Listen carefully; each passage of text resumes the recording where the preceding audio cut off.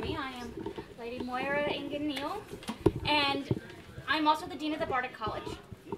Yay!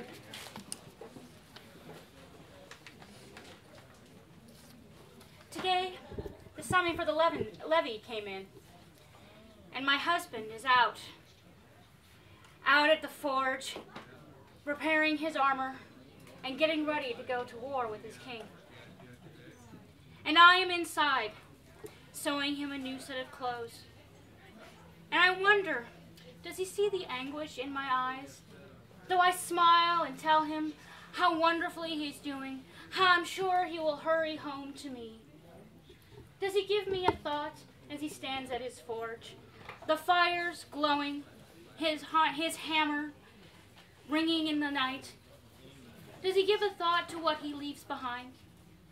Does he know? Does he suspect that he will never come home to me?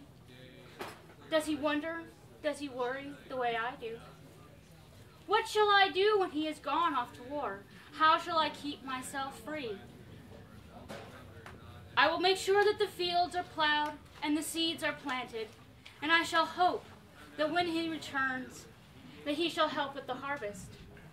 And perhaps, perhaps he shall return in enough time to help me name our child.